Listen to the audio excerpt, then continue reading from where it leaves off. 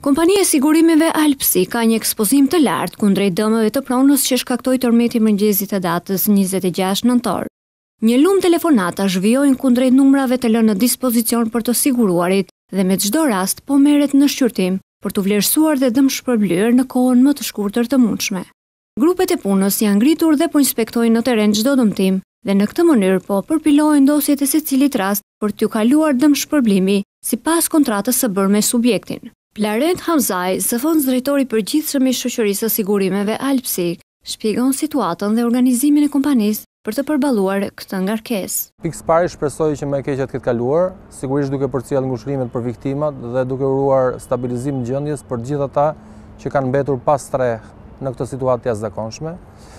Është e dyta ngjarje që në pak kohë afekton më së shumti zonën e Durrësit e Tiranës, zonë në të cilën kompania jonë është tejet e ekspozuar ndaj dëmtimeve në pronë që vijnë si rezultat i këtyre ngjarjeve.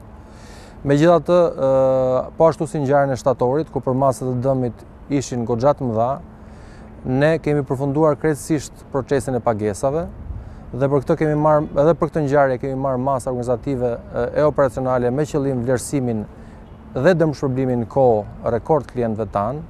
Dua të theksoj që kemi pasur klientë që kanë ardhur sërisht edhe mbas ngjarjes së shtatorit për të kërkuar dëmshpërblim tjetër, të cilëve i është vlerësuar sërisht dhe do të vlerësohet sërisht dëmshpërblimi që konsiderohet të jetë i përmasave disa fish më të mëdha.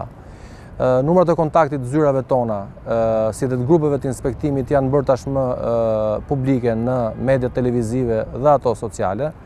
Dhe për këtë qëllim do të inkurajoja të gjithë klientët Albsig të përcjellin informacionet lidhur me dëmtimet, duke garantuar mbështetjen e plotë dhe dëmshpërblimin në kohë rekord. Edhe pse tërmeti ka lënë pasoja shumë herë më të rënda se ai i datës njëzet e një shtator, kompania mbështetet mbi një grup financiar shumë të fuqishëm, siç është Kastrati Group dhe gjiganti ndërkombëtar të risigurimit, Hannover Re.